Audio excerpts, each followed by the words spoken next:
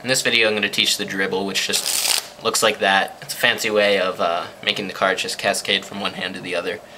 To do the move, all you really have to be able to do is just uh, riffle through the cards, and the more smoothly you can do that, the better the trick's going to work, or the flourish is going to work out.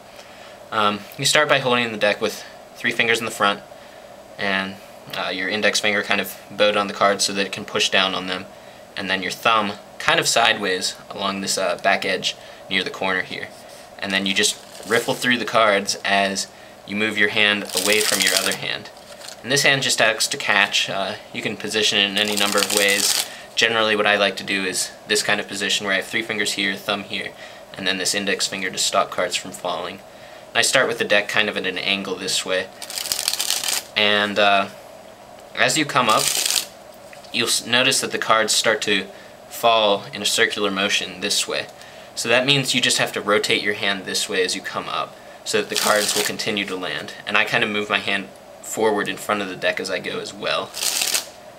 And yeah, it'll just take practice to be able to catch the cards every time and make sure that it works out.